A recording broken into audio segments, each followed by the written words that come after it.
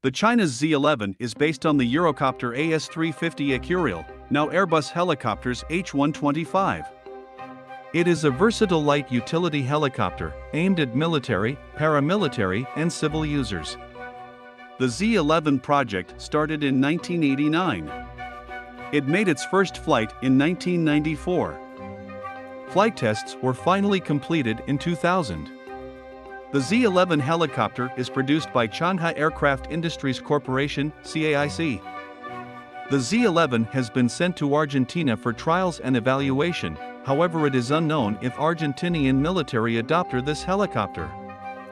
This helicopter has a conventional single main rotor and tail rotor configuration. The engine is installed within the body. This helicopter uses a skid-type landing gear.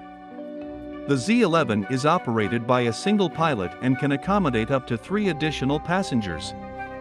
The rear seats can be folded in order to carry light cargo.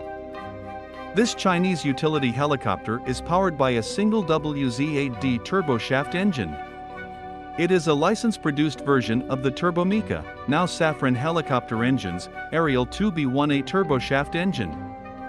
The engine is installed within the body. The helicopter uses a three-blade main rotor. The Z-11 has a number of modifications.